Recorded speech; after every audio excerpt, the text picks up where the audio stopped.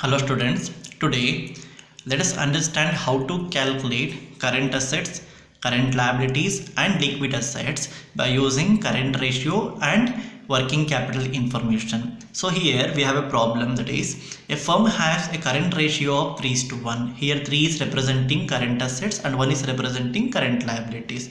Its net working capital is 2 lakh rupees. You are required to determine current assets current liabilities and liquid assets assuming inventory of rupees 2 lakh 20,000 this problem is very much important for 6 marks. So uh, if you want to solve up this problem first we need to start with let let us assume current liabilities is equal to x. Because since we have one year let it be x. So if current liability is 1 then current lab current assets will be 3 times of current liabilities so it will be 3x so the working capital will be the difference between current assets and current liabilities. So they have given working capital information and they have not given what's the value of current asset, what's the value of current liability. So we need to find out the value of current asset and current liabilities by using the given information. So current well, net working capital is 2 lakh given in the problem.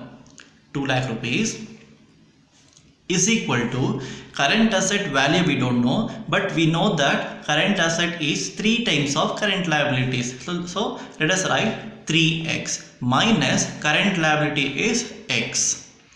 X is representing current liability. So here we have a value of 1 so 2 lakh is equal to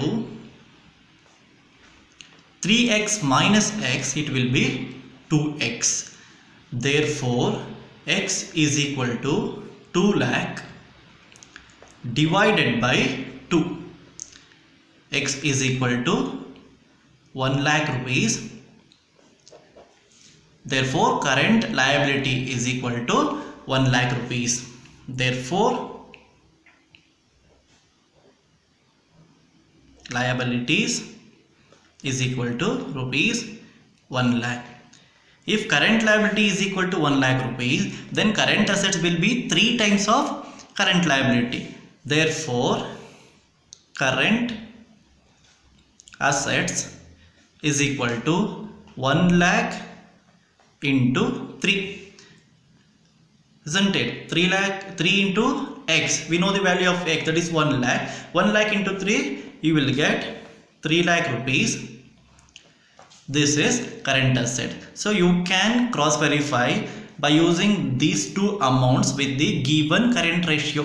Current ratio they have given 3 is to 1 so 3 lakh is to 1 lakh is equal to 3 is to 1 therefore our answer is correct. So next we need to find out liquid asset assuming inventory of rupees 2 lakh 20000 so if you deduct stock value from the current asset value remaining value will be the current asset. So sorry liquid assets.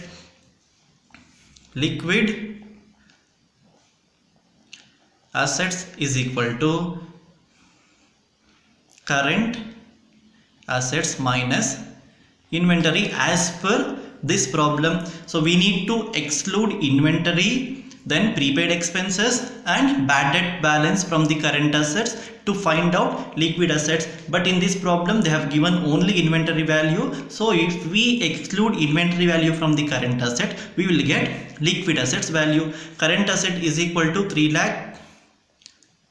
We have calculated already. Minus inventory value they have given 2 lakh 20,000 so we need to deduct that 2 lakh 20,000 remaining 80,000 will be liquid assets. So if you calculate this much, you are going to get 6 marks. Thank you.